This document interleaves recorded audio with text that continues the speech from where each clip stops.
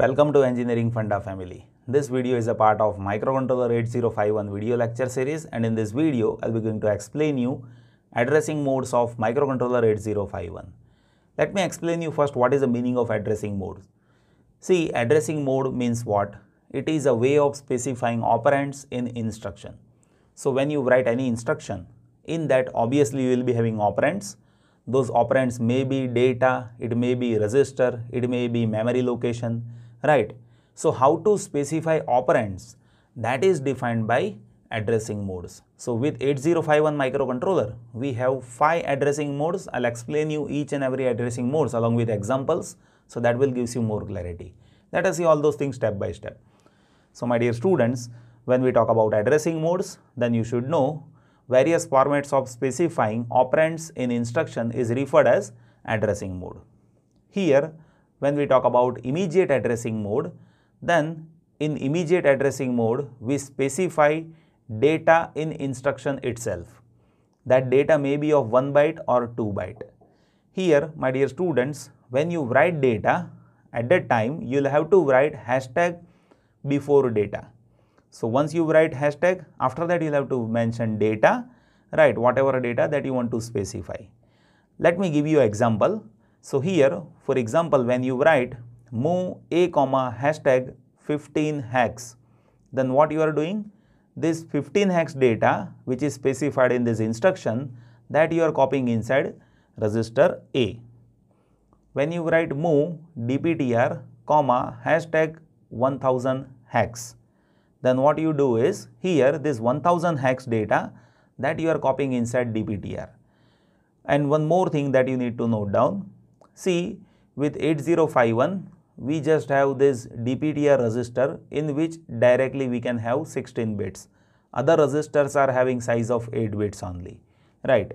So here when you specify data like this hashtag then 15 hex or you can say here we have 2 bytes data that is having same format hashtag then 2 byte data and then hex. So this is how we can represent this immediate data in instruction that's why it is referred as immediate addressing mode. Now I'll explain you register addressing mode. So from name itself you can understand. See here you will be specifying data by registers right. In instruction you will be specifying data by register only. Here you will be using these registers only like A and R0 to R7.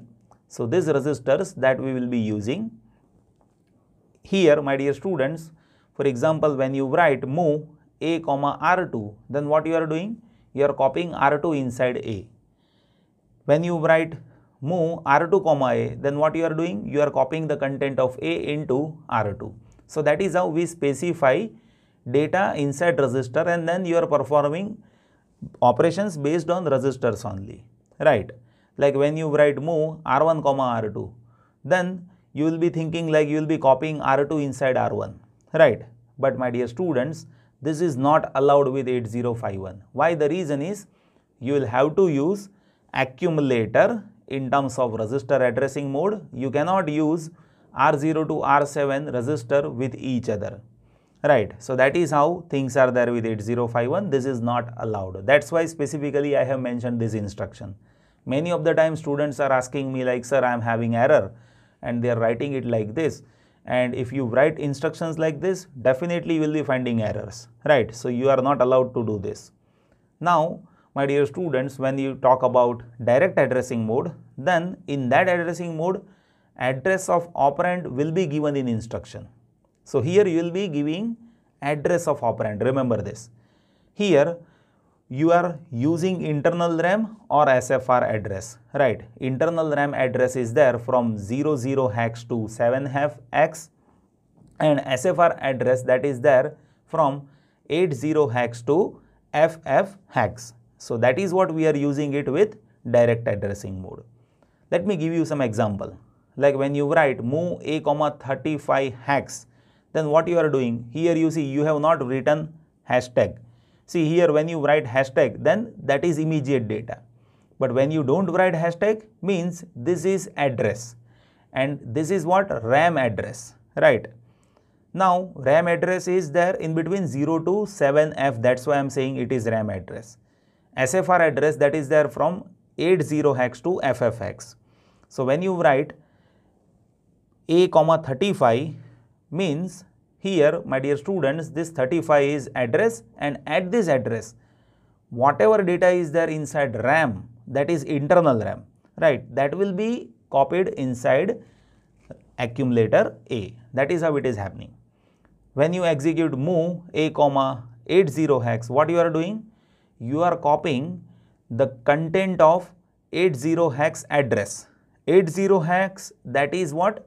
Allocated with port 0 right so here my dear students when you write a comma 80 means 80 hex is address. And for that whatever content is there that you will be copying it inside accumulator A. Right. For example when you write move 30 hex comma 35 hex then what you are doing? See 35 hex that is also address over here and 30 hex that is also address. And both address are having some data right. So now what will happen after this instruction? 35 hex address is having whatever data that you will be copying it inside 30 hex address. That is how this instruction is happening, right. Now my dear students, I will explain you indirect addressing mode. So in indirect addressing mode, address of operand will be given by register. So here with internal RAM, we have registers as well as SFRs are also registers. So address of operand will be given by register. Now you will be not using direct addressing, right? Like we have written direct address over here. If you can remember direct address of different SFR, that is good. But if you cannot remember direct address, then you can use registers, right? So here internal RAM, external RAM can be accessed by this mode. And here, for example, when you write this indirect addressing mode with the use of at the rate at that time, my dear students, you will be using internal RAM, remember this. And here when you write move a comma at the rate R1, then what you are doing? This R1 is having whatever data, now that is address. And at that address, whatever data is there with internal RAM, that you will be copying it inside A.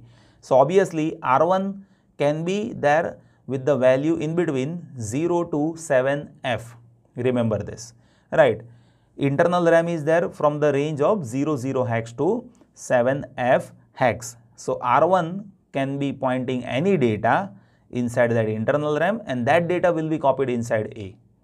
Here when you write move at the rate R2 comma A, then what you are doing is you are moving content of A at the memory location pointed by register R2, right? And obviously as I have told you now R2 that is pointing what? Internal RAM, right? So R2 must be there in between 00 to 7F hex. Then only you can use this at the rate. Now my dear students, for external RAM, you will be having 16 bits of addressing by DPTR and for that you will have to use X. You see here normal move was there but now you will be using move X. So in that situation what you are doing is you are using external RAM. And how to use that? By using DPTR, data pointer register that is pointing external RAM only, right? So you can directly use it by using data pointer. How you see? When you write move x a comma at the rate DPTR, then DPTR is a pointer which is pointing external RAM. At that location, whatever data is there, that you will be copying inside accumulator A. When you write move x at the rate dptr comma a then what you are doing? You are copying the content of a at the memory location pointed by dptr right? So external ram that we can access by using dptr but along with that you will have to use x in move instruction. Now my dear students i'll explain you external ram with 8 bits of addressing. So 8 bits of addressing is possible using external ram. In that you can use any register like R0 to R7. But here there are few basic things that you need to note down. See external RAM that is having address of 16 bits. Here 8 bits that we are using by register. So external RAM is been accessed that's why move x that you will have to write first. Then when you write a comma at the rate R1 then external RAM address that is been pointed by R1 but how you see if value of R1 is 25 hex then initial two digits of this hex that should be 0 means 0025 hex that will be my address. That was pointed by R1 in terms of 16 bits. And at that location whatever content is there that you will be copying inside accumulator. Right. So here my dear students you can use 8 bits but by default assembler will convert that address in terms of 16 bits by adding 8 zeros over here in terms of binary. For example, when you write MOVX at the rate R0 comma A, then you will be copying the content of A at the memory location pointed by R0 in external RAM. Remember this, as you are writing X over here, it will be external RAM only. But in external RAM, see this R0 content 35 hex if it is like this, then initial two hex digits that will be 0 as per this external RAM operation for external RAM, you will have to write X over here. Remember this. Normally, we use DPTR register only. But as if you use other register, then it will be padding zeros like this. That is how things are happening. Now, I'll explain you indexed addressing mode. Here, this mode is being used to access data from code memory. You should know, my dear students, 8051 that is based on Harvard architecture. So, in Harvard architecture, we have separate memory for data and code. Code is there with ROM and data is there with RAM, right? But in some situation, you may need to store those data which are not volatile. For example, if I say ASCII data, then ASCII data should not be volatile data. So that should be stored inside ROM. For example, 7 segment display that you are interfacing. So that is also non-volatile data that also you need to store inside ROM.